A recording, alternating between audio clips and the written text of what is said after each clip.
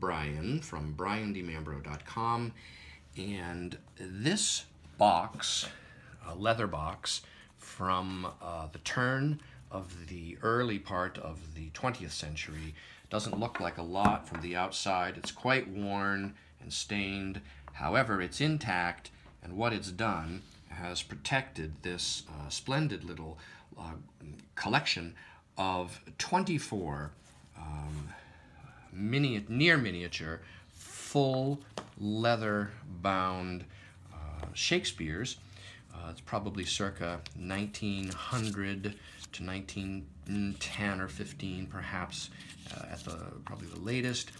And there are a total of 24 uh, nearly as new condition um, small. They're three and one quarter inches high. They all have small little um, marbled end papers. Uh, they're gilt stamped covers and spines. Uh, they're ruled uh, in blind in outline, uh, and it's a soft uh, leather. Uh, and this charming little collection is currently available on my website, briandimambro.com.